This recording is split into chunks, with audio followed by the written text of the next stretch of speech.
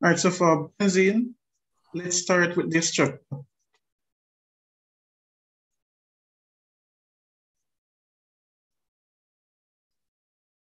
So the benzene ring, like basically, it's cyclohexane, and they have alternate, double, and single bonds.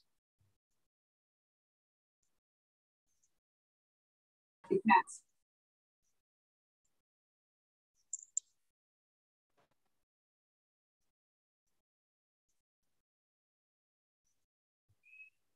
Now, if you look in some books, right, well, you should see it in every textbook.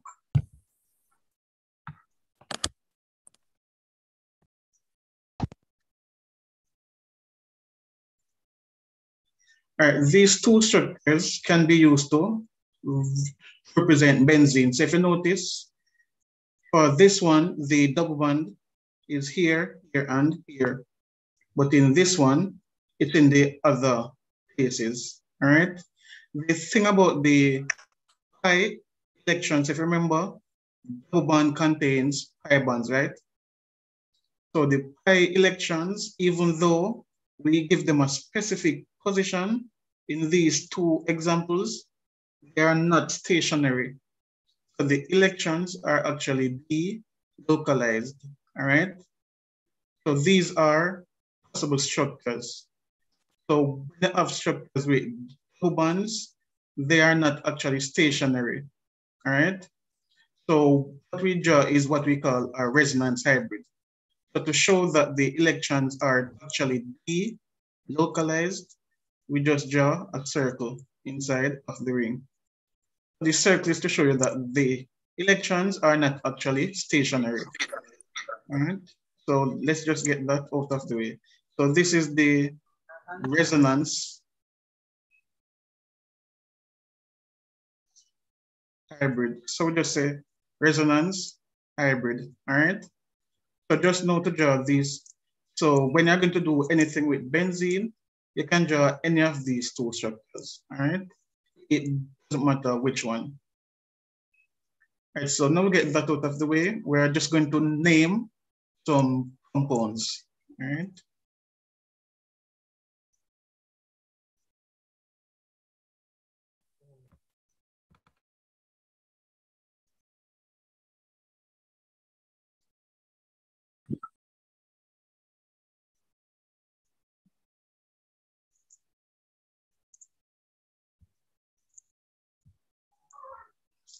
Just a second.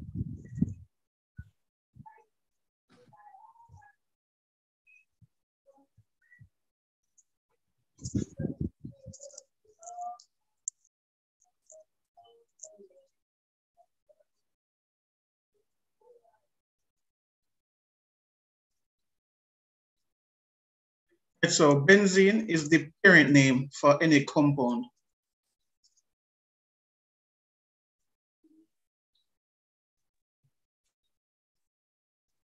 If you have chlorine on it, so this is a chloro group. So we just say chloro, benzene.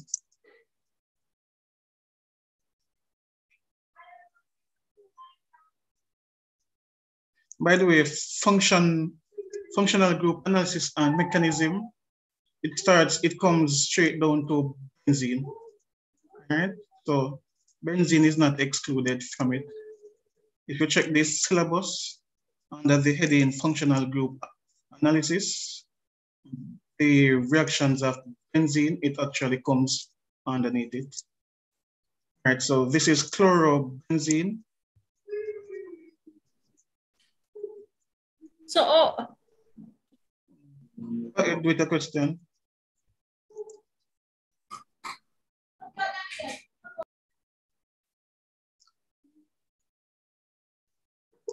So this one, it would be bromo benzene.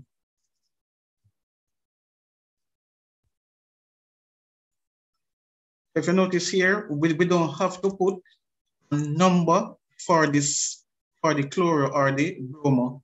So when it's only one group on it, you don't need to the number.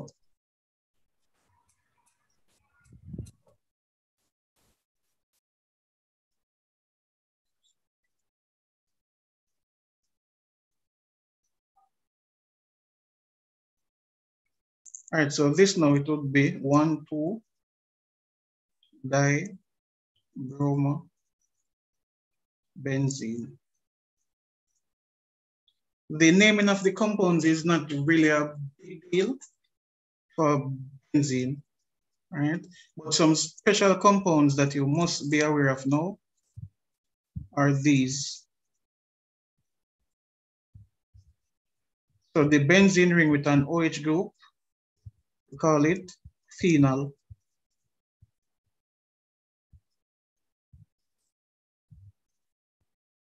Benzene ring with an NO2 group that is nitro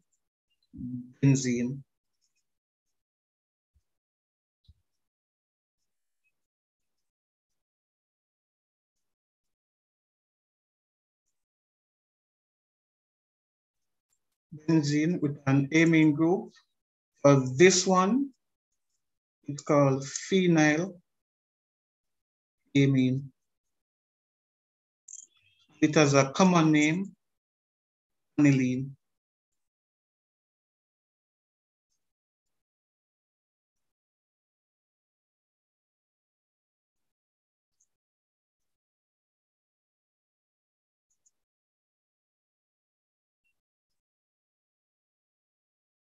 This one is methyl benzene. Common name is toluene. Let's can take off these compounds and then we we move on.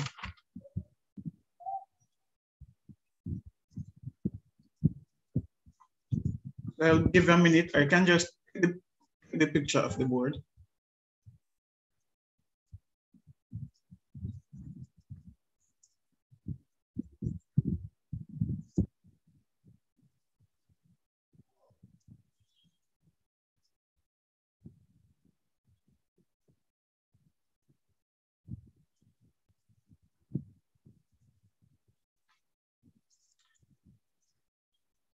All right, so I'm going to clear the board now and we continue.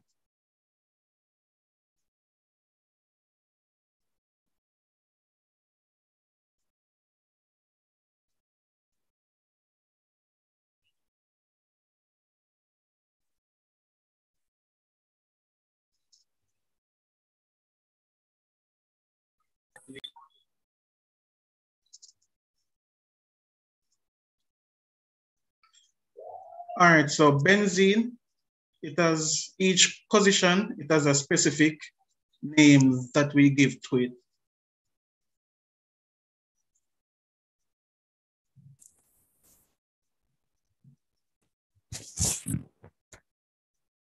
The next class is on Friday. That's for module two. What time, sir? Uh, I think it, I don't remember, I think six, but I'm, I will check and post it in the community section, but it's either five or six. Okay, thanks. Right. All right, so let's say a phenyl, right?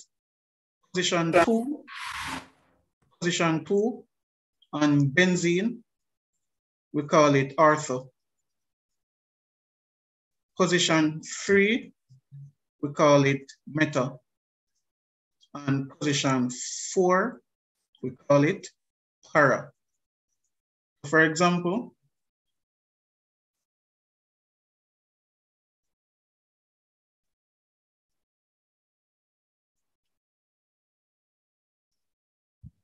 module three will be Sunday, this Sunday before exam,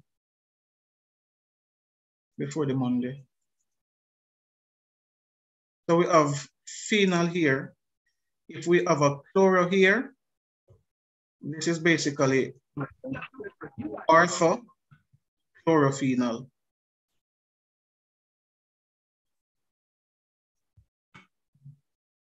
So it is two chlorophenol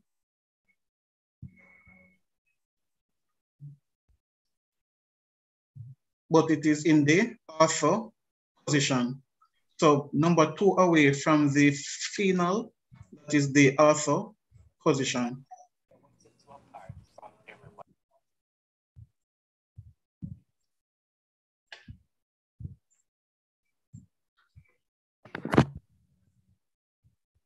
Let us say we have methyl benzene and we have something else. So we are adding our bromine to this position. All right, hold on. Let me not put it on this side. Let me put it on this side. So with, with the benzene ring, you can count clockwise, all right? And you can count anti-clockwise. So this position here, it is not one, two, three, four. It is one, two, three. So these two positions on the ring, they are meta, all right? So when you're doing meta, ortho, and para, it is, it is relative to the group that is already there. So these two positions are meta relative to the methyl group. So for instance, let's do it again.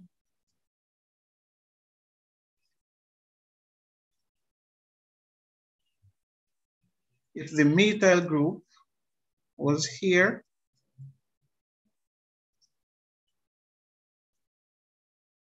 then this is position two. This is also position two. So these would be ortho. Any of this or the here would be the meta position. And directly in front of it would be the para position. All right, so just bear that in mind. These positions are relative to where the group is. So if it is up here, then four is down here. But if it is here, four is across from it. So this is carbon one, two, three, four. So that would be para. All right, so we look at naming a few benzene. Now you know about the ortho, meta, and para position. This is important for you to know.